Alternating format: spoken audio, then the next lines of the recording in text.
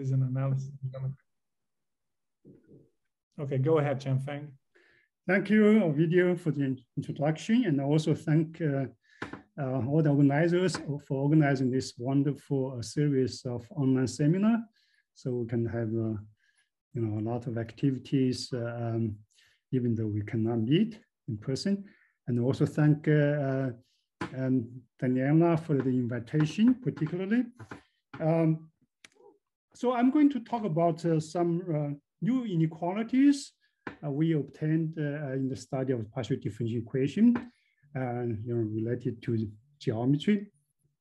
Okay, um, so um, some of these uh, uh, inequalities are reported before in seminars at different places, uh, in particularly like UCLA, I have been there a couple of times, and also Brown universities. Um, so I will kind of uh, give uh, some summary of what I we obtained before and focus more on this recent result on the uh, higher dimensional case.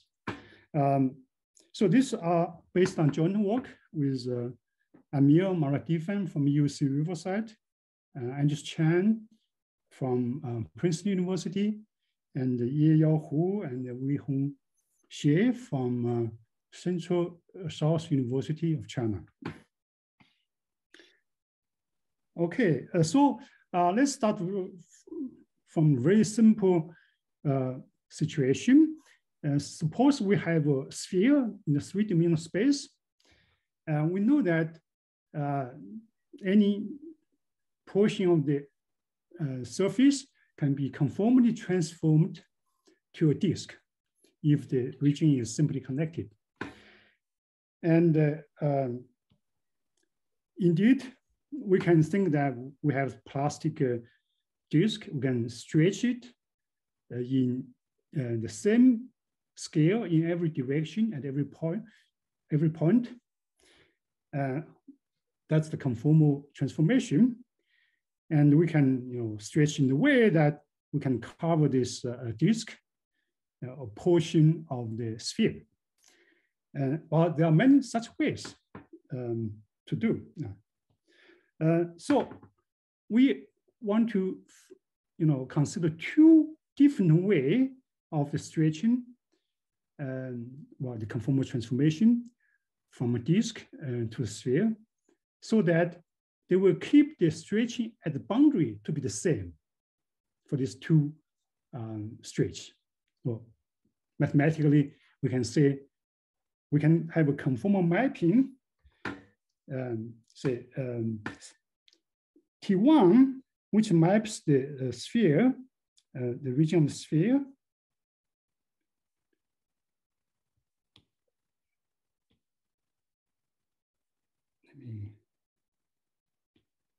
The region of the sphere to the uh, general region, say simply connected in R2, so that its boundary, the sphere, uh, the, the, the, patch is moved to the boundary of this domain. Right?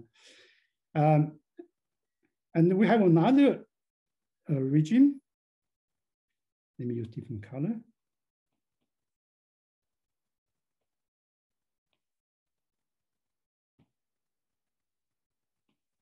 So, and this also conformally transformed to the same region.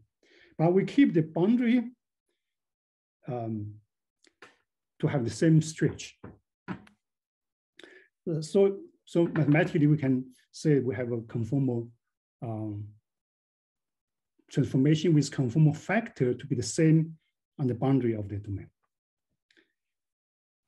Now, if we assume that these two surfaces, two patch of surface, are not exactly the same, you know, they are not uh, um, isometric. Then we say that the total area of these two uh, patches of um, surface will be bigger than 4 pi, the area of this unit sphere. So that's the so-called uh, uh, sphere, sphere covering inequality um, which is very simple geometric inequality. Uh, well, simple to state, uh, which we discovered recently uh, with uh, Amir Moradifam. And this inequality we can also write in the way of a PDE uh, form. Uh, so it actually related to such a, a Liouville equation. Suppose we have this uh, two solutions to this type of Liouville equation. Uh, so with the right-hand side um, could be uh, non-zero, but we want them to be positive. Uh, suppose uh, uh, for solution W2, um, the corresponding right-hand side W, F2 is bigger than F1 uh, for the solution W1. And uh,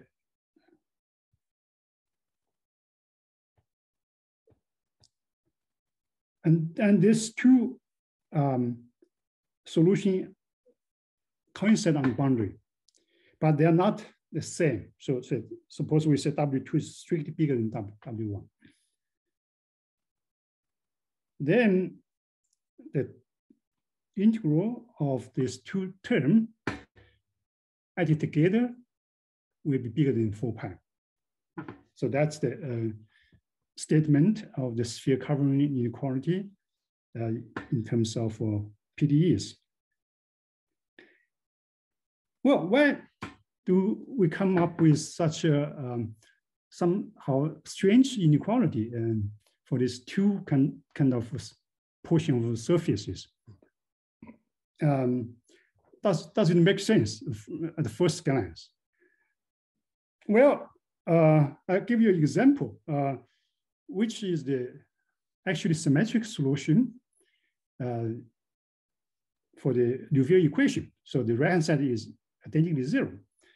So we, we know there's a, there's a family of solution which can be written explicitly by this formula. Okay, so, so this lambda just change the scaling.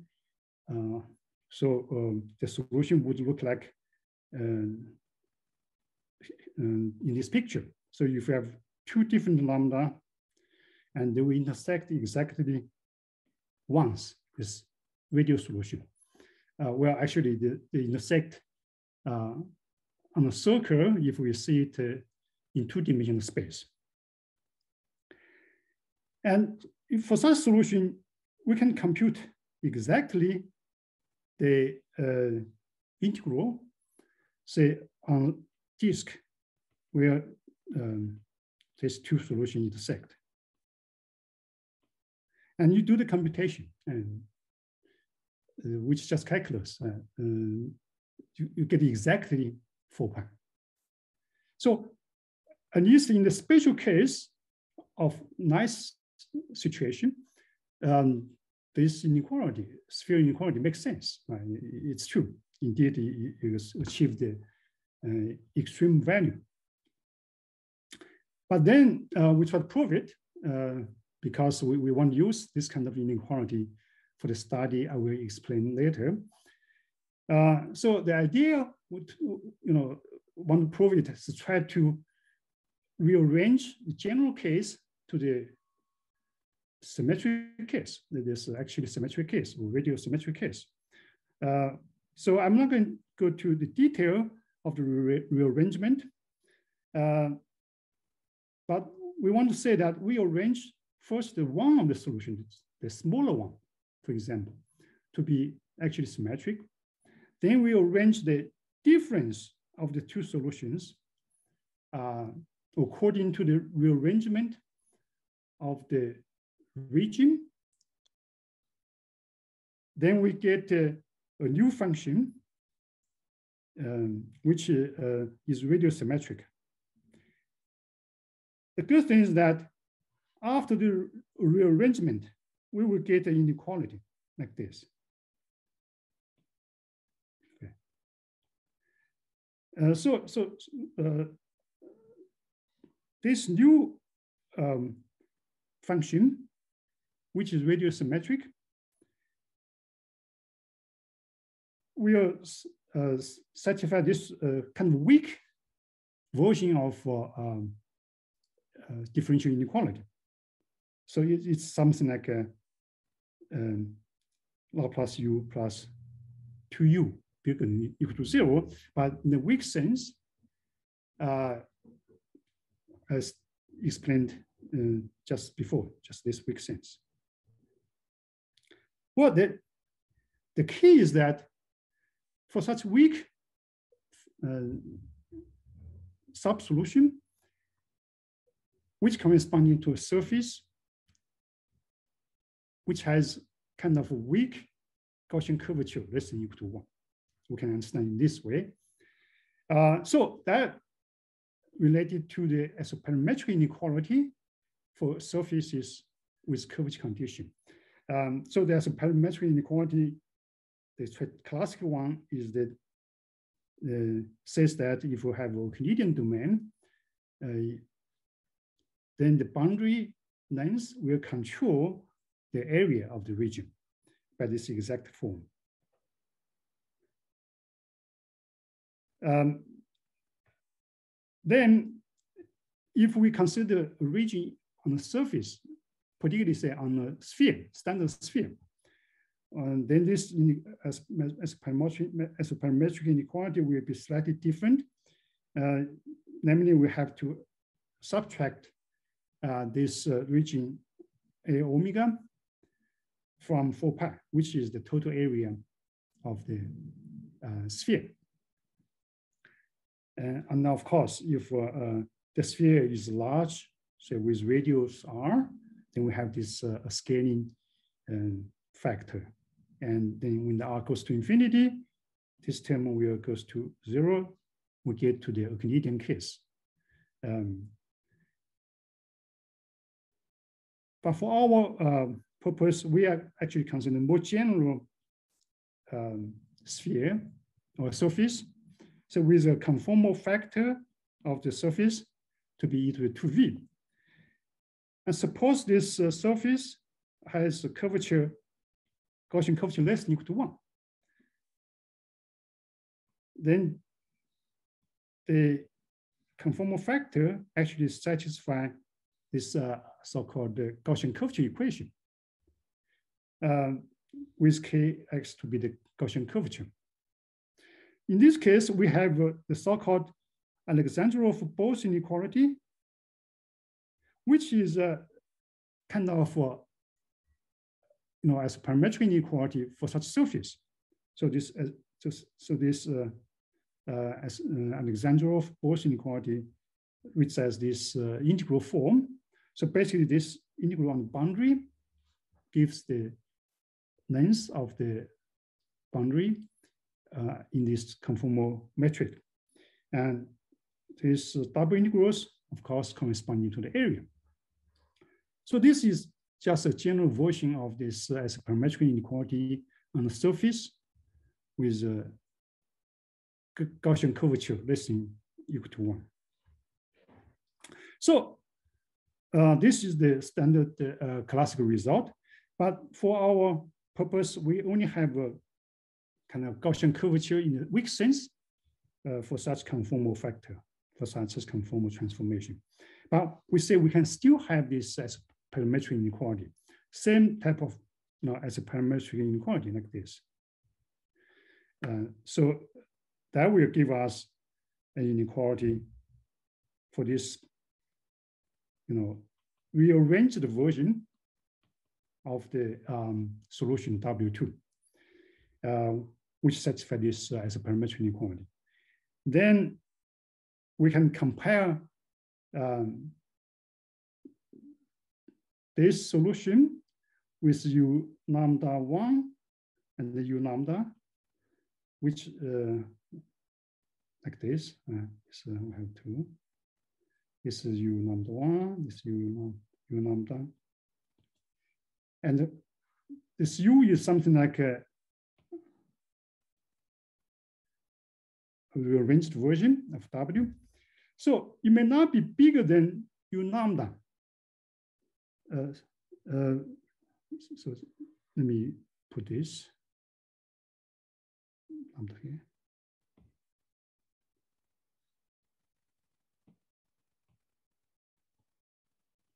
So it may not be bigger than u number one, but we know eventually its, its area or its integral is bigger than u number one after rearrangement from this uh, uh, isoperimetric inequality. Okay, so so that's the uh, what we um, try to use the isoperimetric inequality for general surface to compare the uh, integral uh, of this rearranged version of the um, function, uh, which are solutions of the PDEs.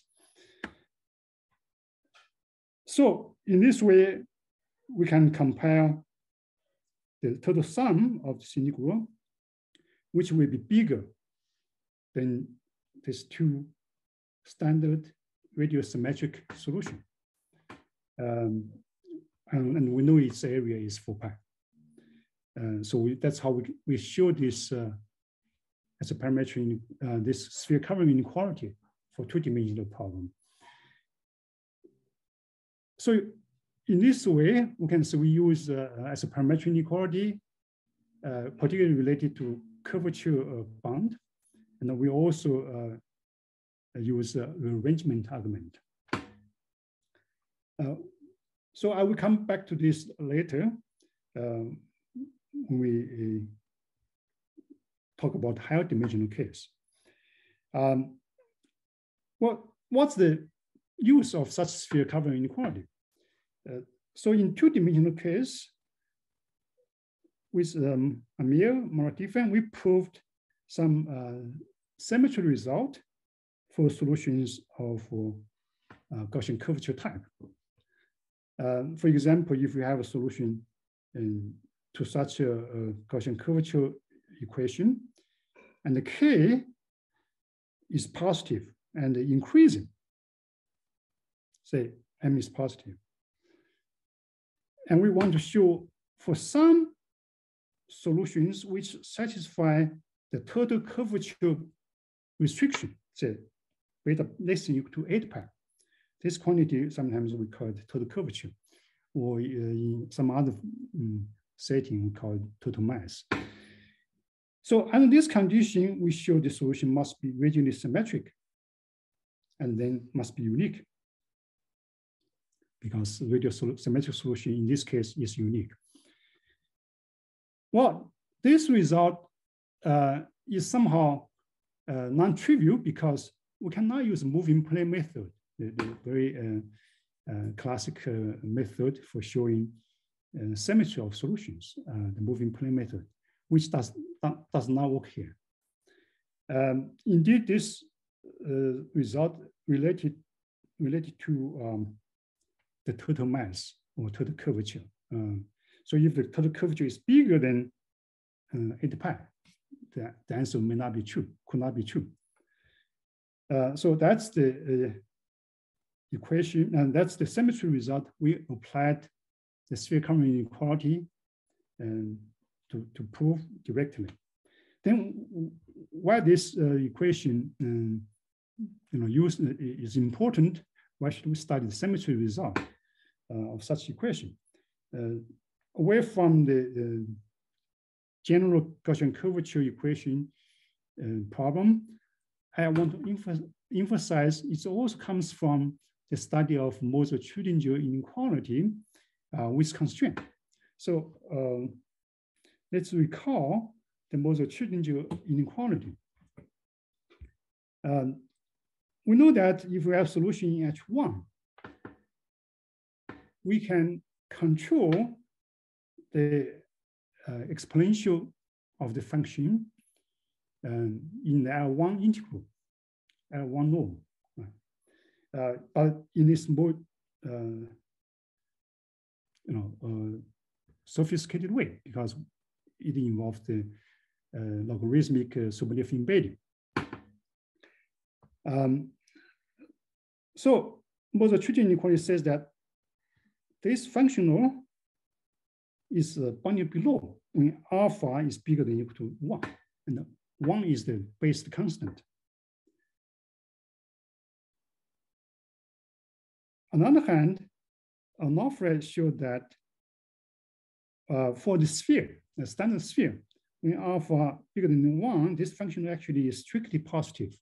Well, uh, non-negative is, bigger than or equal to zero. On the other hand, uh, if we restrict the function to have center of mass at the origin, so which is uh, given by this integral. And then this base constant can be reduced by half. So we still have J alpha only below if alpha bigger than equal to one half. Well, then we wonder if the uh, minimum of the function is still zero.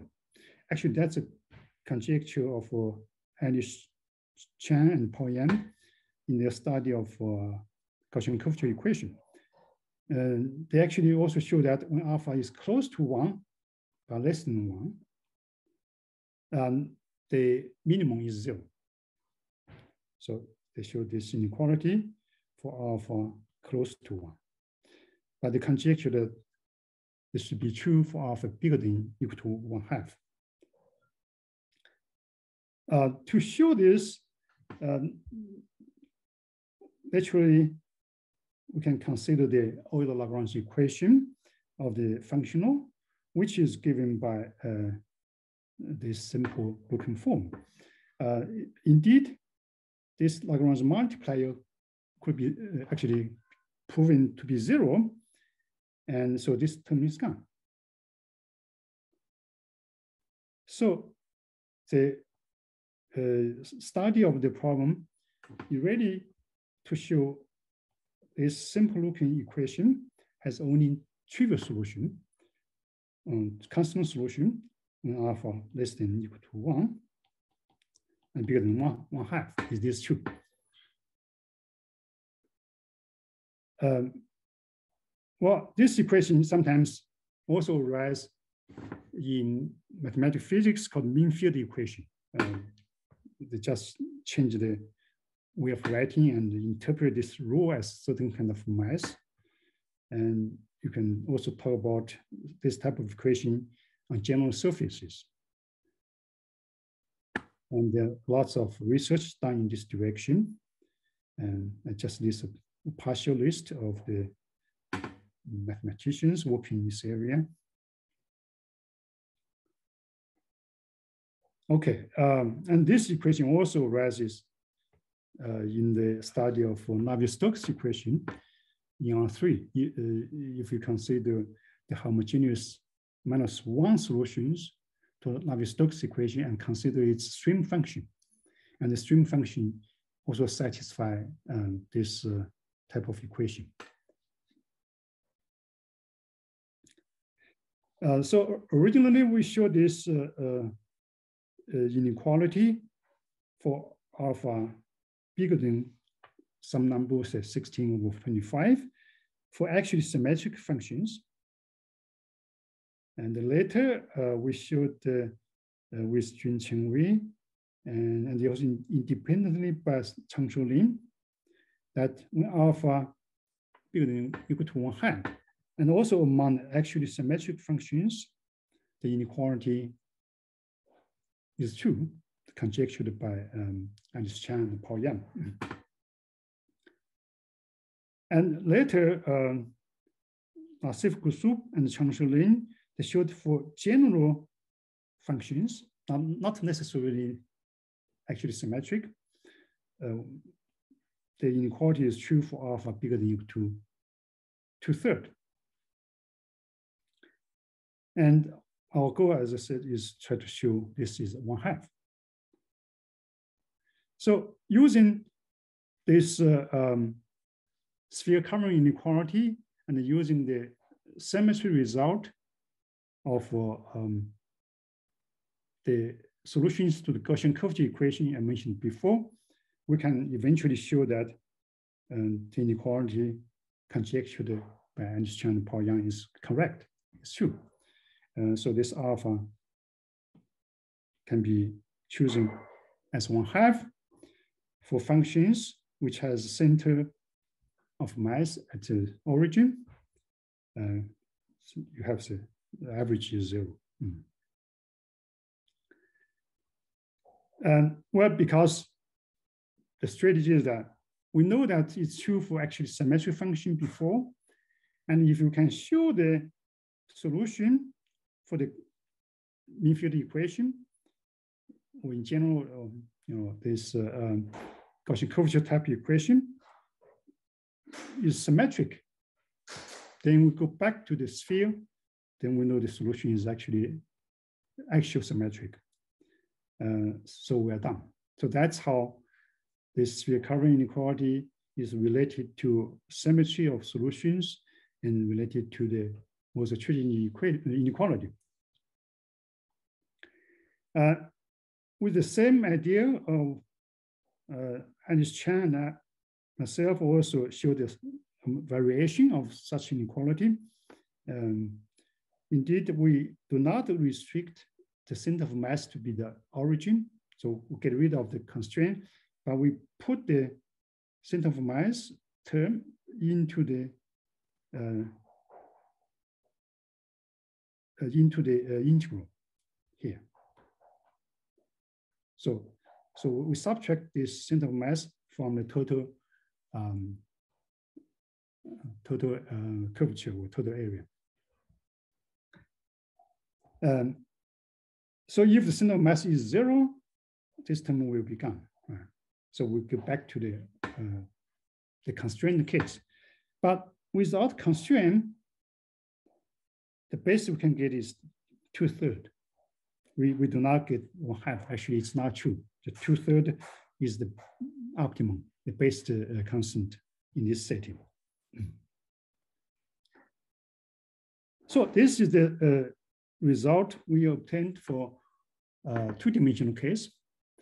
The question is that how about higher dimensional case? Do we have similar thing? Uh, well, uh, this project is just very uh, preliminary stage. Um, we, we, we did get some result. That's what I'm going to report. Um, so for, for example, for four-dimensional case, and the corresponding uh, problem is so-called Q curvature type problem. Uh, so we look at, again, say a functional like this, which says that if you have a function in H2 space of S4 um, of the sphere, on the sphere, then we can control the integral of the exponential of the function so particularly we write it as e to the 4u. Okay, that's the uh, um, convenient, um, convenient way to write. So this 4 corresponding to the dimension. And this can be controlled by the H2 norm. So H2 norm, we write it uh, in this particular way. um, so, and this control is true for alpha bigger than equal to one as well. And this inequality usually is called the Beckner inequality. And then the corresponding Euler-Lagrange equation of this uh, functional corresponding to the so-called Paneitz operator, which is a fourth order operator. Uh, so particularly uh, on S4, this Paneitz operator can be written as bi-Laplacian minus two times Laplacian. So have this explicit form. Um, and this could be uh, defined for general surfaces as well, general, general uh, four-dimensional manifold as well. Uh, so the corresponding Euler-Lagrange equation is this uh, so-called the Q curvature type equation. So the leading term or the differential term is the Paneitz operator acting on U. The nonlinear term is again this exponential term. Uh, so our question is the same. if we constrain, put a constraint that uh, the center of mass is zero, can we improve the base constant alpha in the Beckner's inequality? Uh, indeed, Branson, Chang, and Yang, they show that alpha bigger than one half, there's a compactness and uh, the functional is bounded below. Just like Aubin's you know, inequality uh, and for the constraint problem. And if we consider the minimizer of this functional and this constraint, it also satisfies the corresponding Euler-Lagrange equation with a Lagrange term, Lagrange multipliers. And just like in two-dimensional case, uh, this Lagrange multiplier can be proven to be zero uh, by using the so-called Kazdan-Warner condition or constraint um, or obstacle. Um, so the, the uh, Kazdan-Warner con condition, uh, if you written for this kind of Q curvature equation, uh, this uh, is the Q curvature. And then the existence of solution to this equation requires this integral to be zero. Um, and this is the Kazdan-Warner condition. And this still holds for higher dimensions, for particularly for four dimensions. And so use this, we can get rid of uh, uh, the Lagrange multiplier for the unconstrained problem. So we can again focus on this equation, uh, simple looking, or not, now it's not simple looking anymore, and this uh, uh, uh Q curvature type equation. Um, and we want to show that when alpha is less than one, there is a constant solution. There's only constant solution to the equation. Well, which turns out to be a very difficult question. And as we know that in PDE, to classify a solution to a certain equation uh, is usually very difficult and uh, non-trivial. And so what we've do uh, is just like we did for two-dimensional case, we start with the axially symmetric case, axially symmetric functions, and try to see uh, if solutions uh, to this corresponding ODE is non is trivial, is constant.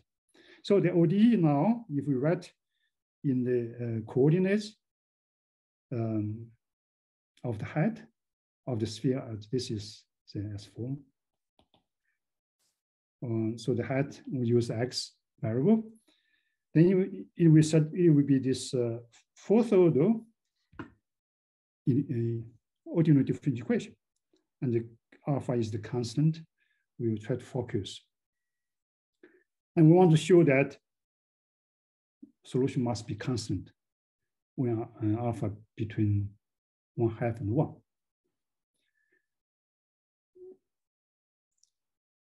Well, um, this equation we can write in different way. Uh, sometimes we can write in this um, equivalent uh, form, which uh, sometimes will be useful. Um, well, the corresponding functional we can also write in this one-dimensional case. Uh, so it will be um, just in terms of the variable x. Uh, we have this uh, weighted functional and we want to show this is uh, bigger than equal to zero when alpha uh, between one half and one under this constraint, this uh, center of mass constraint. Now, if we write in, in terms of uh, one dimension, the variable x, we have this weight. Uh,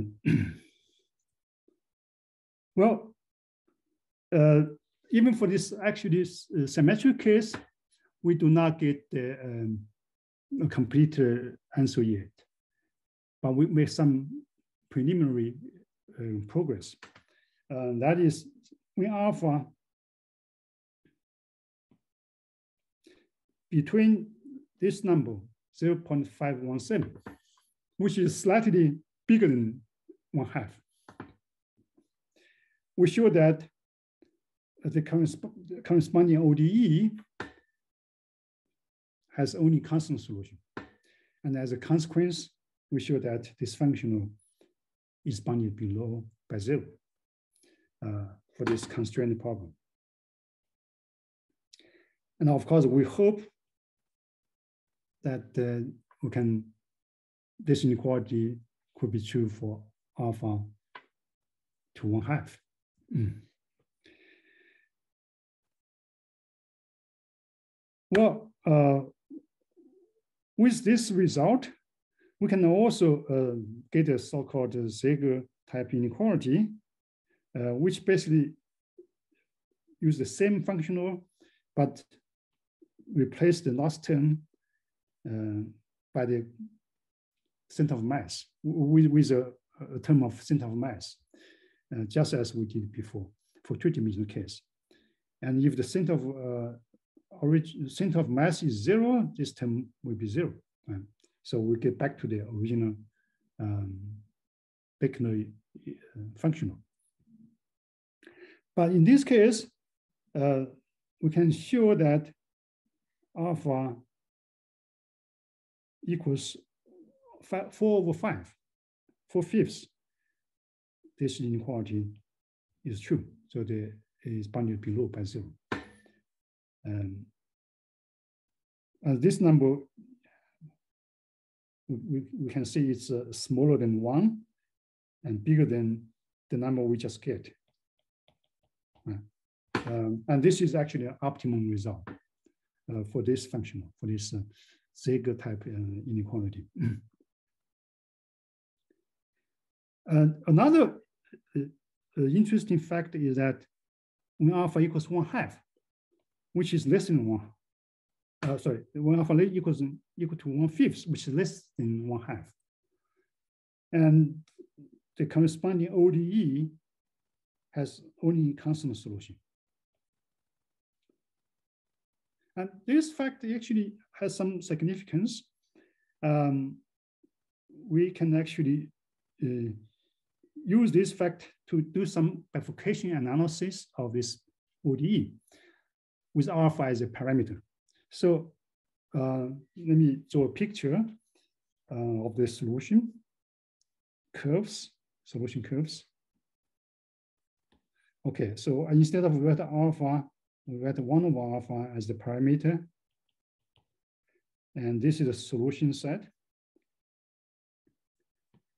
And if we consider uh, the alpha equals uh, one half, it will be here. Number equals two, this is one. Um, alpha equals one. So we know that when alpha equals one, there's a family of solution, ODEs, to the um, first order uh, equation. And when alpha equals five, uh, one, one over five, so lambda equals five, there's only one, uh, there's only constant solution. But we know there's actually bifurcation happening here. This can be computed. Uh, and we also know that in this range, so alpha uh, equals uh, uh 0 0.15, um, 517, so somewhere here, there's only constant solution. So, so we can normalize it to be trivial solution, to be zero solution. So this, this bifurcation branch, there must be, let me uh, use a red color. So must go to the left.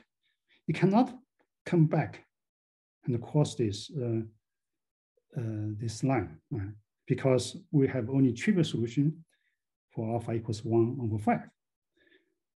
And on the other hand, the uh, analysis uh, done before by many other people uh, actually shows that blow up of such solution, the Q curvature equation, just like the Gaussian curvature equation, can only happens when alpha is a positive integer. So, so, so when num, so when, when, when actually when lambda is a positive integer, so alpha is one over positive integer. So this bifurcation branch can only blow up um, when alpha goes to one half. So that's the kind of uh, uh, solution picture diagram for this ODE when we take alpha or lambda as a parameter. Uh, so we, we know there are always non, uh, non-trivial solution in this range for alpha. And this actually also imply that uh, uh there's no symmetry result uh, for the corresponding um, questions, which um, I will mention later. Um, so that's what we obtained for the problem for four dimensions. And uh, um, still, here, we're still not completely sure uh, this is the right picture uh, because there's small chance that the bifurcation branch could go across this uh, you know, uh, line, then come back and then blow up at zero. So if that's the case, then the base constant in the constraint problem may not be one half. So it may be something bigger than one half. So in that case, uh, then uh, of course it's uh, uh, it makes sense to have a, a result like a, a one zero point five one seven. So uh, anyway, that's the uh, problem we have tried for higher dimensions.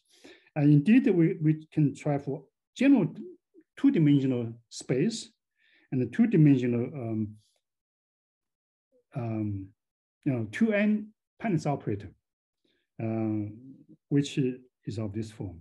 Well, it, it, it it's basically generalization of four-dimensional case, but more complicated. Uh, we get also result for six and eight dimensions. Okay. Um, for higher dimensions, for technical reason, we cannot uh, uh, get the result um, so far, even for for ODE and for the preliminary result. For, for six and eight dimension, we have this uh, corresponding number of the lower bound or, or based constant or improved constant.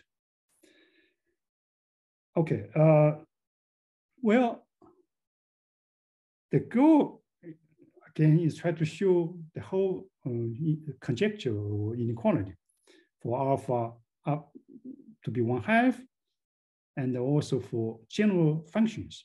But this is seems to be a very difficult question. Uh, if we try to use the two-dimensional strategy to, to do so, to, to tackle this problem, then we have a, a, a question of, do we have a sphere covering inequality in higher dimensions or some type of sphere covering inequality? Uh, second is that, do we have some kind of Alexandrov Bol inequality for higher dimensions? Basically, that's isoperimetric inequality related, relating to the curvature um, of um, um, the surface or manifold. And there's also corresponding eigenvalue problem uh, for higher dimensional domain. Um, but with some kind of um, red boundary condition. And more uh, from the PDE point of view, we can actually have to study this uh, uh, equation, um, higher order equation, say in R, Rn, with a coefficient. And this coefficient is increasing, so L is positive. Uh, under some kind of uh, total curvature constraint, uh, say this, this total curvature is beta.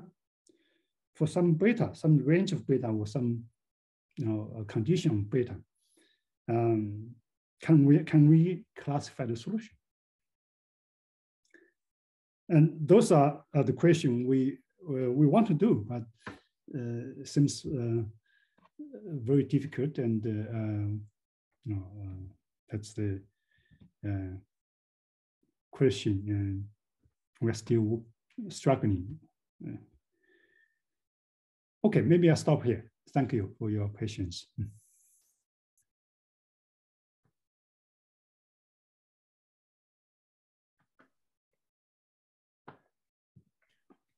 Okay, thanks, Changfeng. So let's see, are there questions, comments?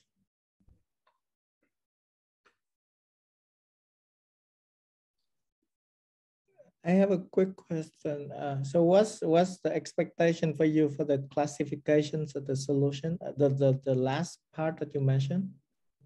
Okay, uh, so uh, the, the uh, expectation that uh, for the range, uh, there's a range of beta, uh, which uh, corresponding to, to alpha. So beta corresponding to alpha. Uh, and also, of course, dimension. Right? And and also the solution say uh, we know in um, uh, in the um, uh, case that this coefficient is one in the the, the uh, standard um, Paneitz, Paneitz equation, and there is a classification. The solution must be radial symmetric. Uh, if the solution behaves like a little x squared. Uh, uh, yeah, if, if you, then it must be radially symmetric. Um, it is true for, for such a, a problem with coefficient, not constant, it's uh, increasing. Actually, if the co coefficient is decreasing, if L is negative, and this can be proven by using moving plane method. Um, but now if we do not assume L is negative, actually the, the one we're interested in is L is positive. Can we show that solution is uh, radially symmetric? So uh, now, of course, if we show radial symmetry, uh, there's also question, are the uh, radial symmetric solutions unique? Which actually is not known. At least um, in general, we don't know, we do not, we do not know. But with the translation of our result for the axisymmetric case to the um, to this uh, um, form on our end, we have uniqueness of the solution for dimension four six and eight, but uh, alpha close to one, say bigger than you know, the corresponding number we, we obtained. Thanks.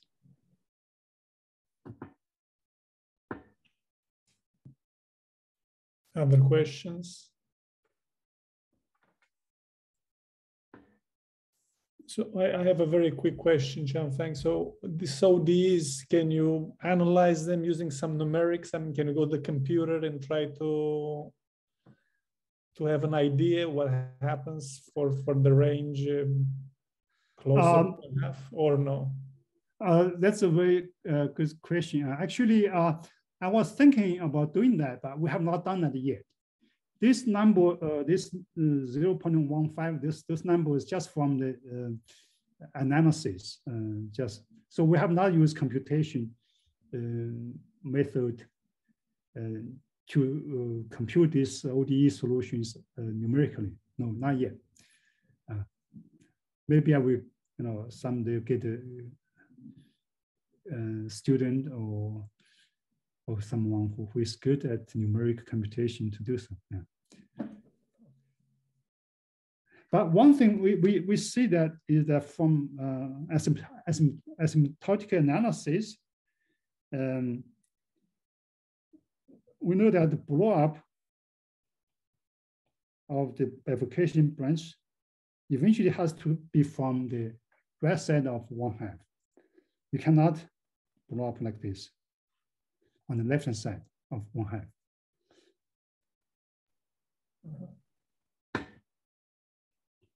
And, and numerically, yeah, um, hopefully yeah, we can analyze this uh, branch of uh, um, solutions numerically and see if it's always stay on the left hand side or right hand side of one half.